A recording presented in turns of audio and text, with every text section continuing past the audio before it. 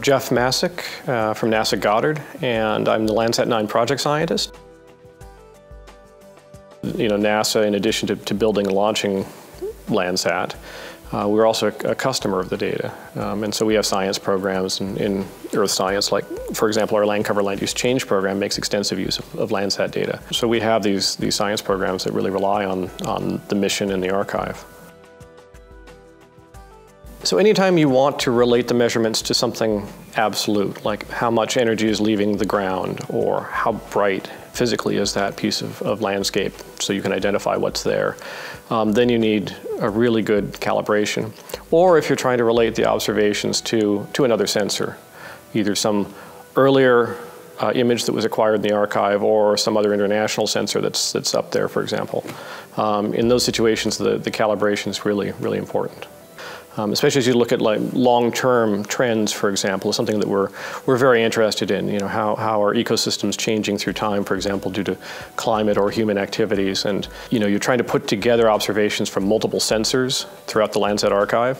If they're not all cross-calibrated and, and well-calibrated, then you really don't know if you're looking at, at real changes or just changes in the in the instrumentation. So that that can be a real problem then. The user community is really looking for high temporal resolution data. Um, what they'd really like is sort of a daily look at the entire Earth at 30 meter resolution or something comparable to that. Uh, and the only way that we're going to achieve that in the near term at least is by synergizing and harmonizing multiple international sources of data. So the US has the Landsat program, uh, Europe has the Copernicus Sentinel-2 missions, and there are other international systems uh, out there as well that could be brought into this sort of constellation approach for observing. The tremendous advantage of Sentinel and Landsat together is this increased temporal density, right? You can get an observation of anywhere on the land surface every two to three days.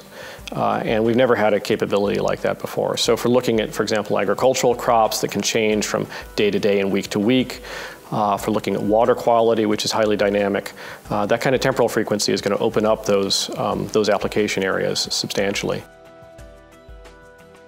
So I think the program today is probably healthier than it's been in a long time. Uh, we have Landsat 9 under development.